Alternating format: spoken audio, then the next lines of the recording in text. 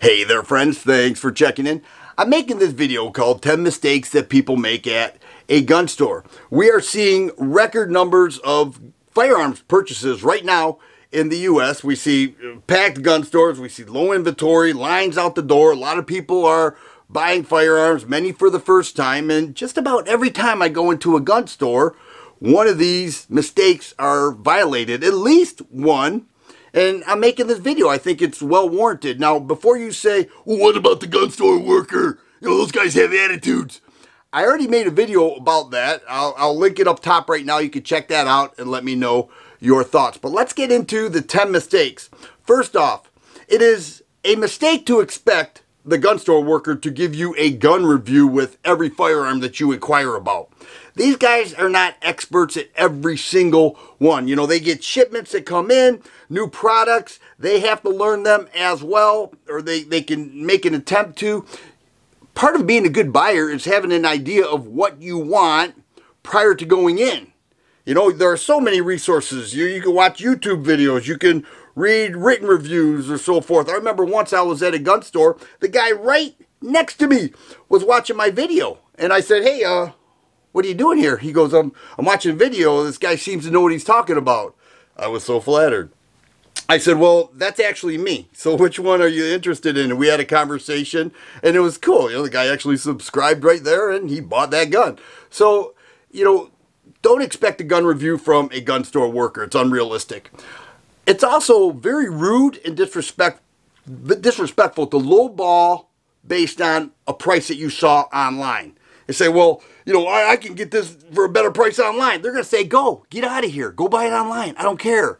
You know, you have to take into account that when you buy online, all right, you're probably going to get a good price. But there's shipping fees, there's transfer fees, there are uh, potential taxes that you have to pay, and you have to wait for it. As where with the gun store, most of the time you can walk out with the gun. It's certainly like that in Michigan. So to to say, well, I can get a better price. You're you're lowballing to get that price without the additional fees, and that's just not how this market works. So you know, be respectful. Try to get the best deal. I'm not saying don't, but your lowball offers will often get ignored, and they'll move on to other people. In that same type of situation, it is unrealistic to expect a great deal on a trade. You are kind of expecting to get ripped off if you're going to go trade with a gun store. All right, you're better off selling or trading privately, but to go in there and say, well, I paid this for this gun, even at this store. This is what I paid, so certainly you should be trading it back in for this price. It doesn't work that way.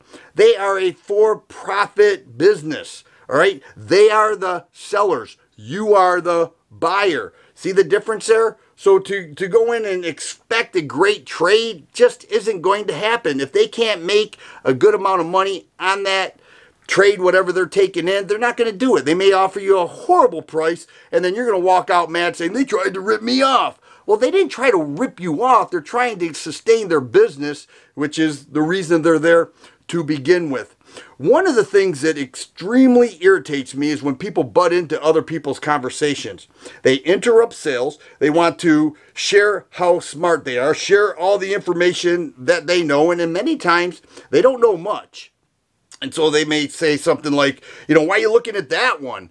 Get this one over here. I got this one, and that may be the only gun they have. And they're going to tell you everything that's great about that gun, and they're they're disrupting a potential sale. They're upsetting the worker. They're probably upsetting the buyer and they were never invited into that conversation to begin with. In my opinion, that goes across the board in anything, but it's so prevalent in a gun store and it's very irritating.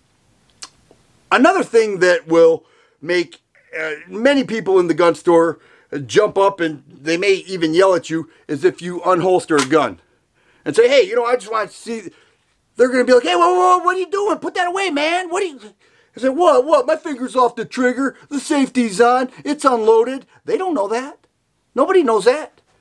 Only you do, and many times they don't trust you. They don't trust your gun handling skills. So give them a reason to trust your gun handling skills. You know, if, if you want to show your gun, bring it in a case, keep the slide locked open, okay, where they can verify and then have a discussion. But to unholster it is really something that's going to make people jump up and be alerted. Another thing is walking around the store with a gun. So worker shows me the gun, my buddy's over here. I go, hang on one second. Hey dude, check this out. And they they may say something like, whoa, whoa, whoa, get back here. Nobody told you to do that. What, what, come on, what? I just want to show my buddy he's interested in it too. Don't you want two sales? Well, first off, it would be best to have your buddy come over to where you are, but that's not your property. So to treat it as if it is your property and that you're taking control of the situation because you want your buddy to see is completely rude and disrespectful and you shouldn't you just shouldn't do that. Another thing is to dry fire a gun. I, I see this all the time. People will, you know, they'll they'll get the gun and they'll go, oh, that's a cool gun. Oh, that's cool. Hey, I want to check out that trigger. Wow, that's nice. Let me check out the single action. Yeah. It's best to ask, hey, listen, I'm interested in that gun. I've had my eye on it. I know a lot about it. I want to pull the trigger before I make that purchase.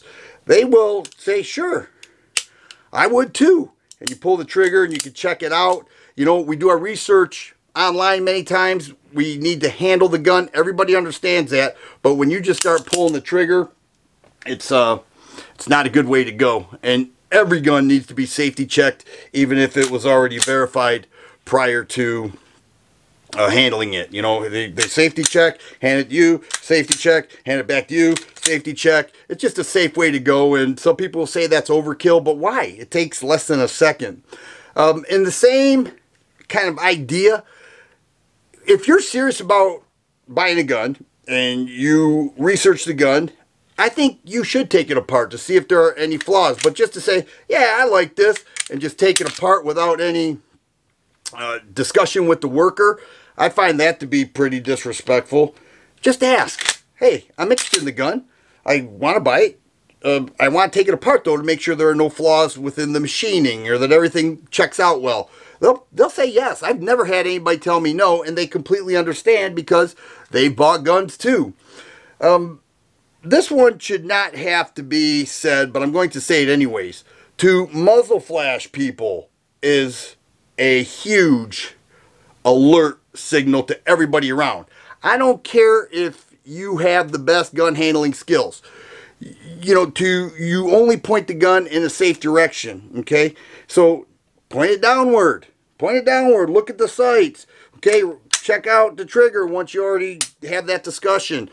But to point it around at people, that gets violated so often. I'll have somebody tell me, well, that's just common sense. Well, of course it's common sense, but it is a mistake that people make at gun stores more often than you think. And if you don't think I'm right, and just talk to a gun store worker, or if you're a gun store worker, let me know in the comments how many people actually do that. The last thing, this is number 10. It is not right to expect legal advice from the gun store worker. They are there to sell guns, sell ammo, holsters, gear, optics, you know, cases, whatever. They are not there to give legal advice. There are many resources to get legal advice. You should have a lawyer. But in the case you don't, you know, and I'm not talking just general little questions. If you want legal advice, don't expect to get it from a gun store. That's a mistake. You're holding up their attention, their time for you know for potential sales that they could make because you have legal questions. So those are my 10 mistakes that people make at gun stores. Let me know if you agree. Let me know if you don't agree. And also let me know what else you come up with and perhaps we'll make a part two. If you like videos like this, please subscribe and share. I always appreciate the thumbs up button. Thanks for watching and you guys be safe.